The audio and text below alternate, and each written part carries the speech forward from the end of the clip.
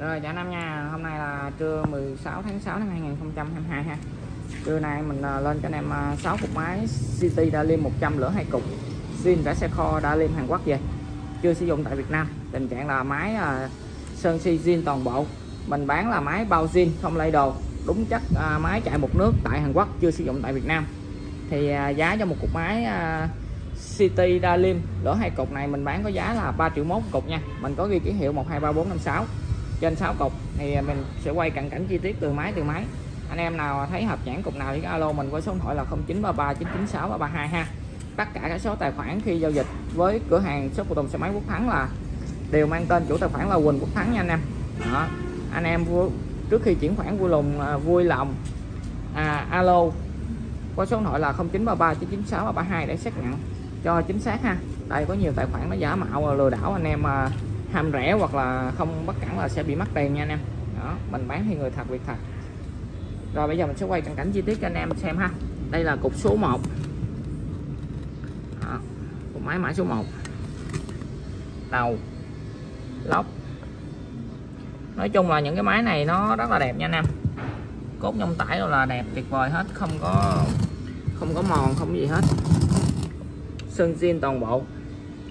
Bán bao zin không lay đồ nha nói chung này mình bán giá này là nó rẻ hơn máy sát rồi. Anh em nào cứ thấy hợp lý thì cứ alo mình nha. 0933 996 332 thật sự những cái máy này xưa giờ mình bán rất là nhiều. Anh em nào chơi cũng hiểu rồi, coi đi, coi lại những cái clip mà mình đăng liên tục. Mỗi khi hàng về mình update lại, thì mình đều nói rõ hết.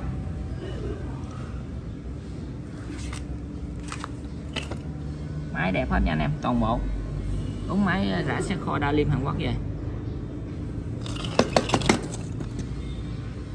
Cột số 3 máy là đúng, máy chắc chạy một nước.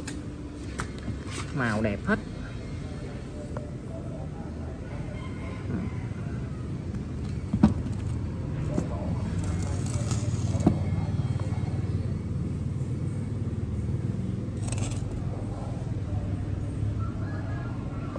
Số 6 số 5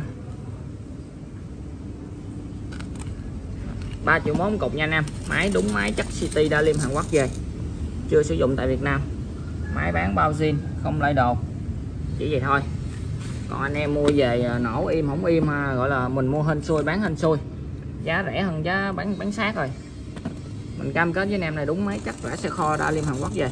Còn anh em nào mà thực sự mà chơi những dòng đầu zin, tháo xe này, nhìn cái chất máy là biết là máy nó chạy ở đúng chắc ở bển về hay không liền mình cũng không cần nói nhiều.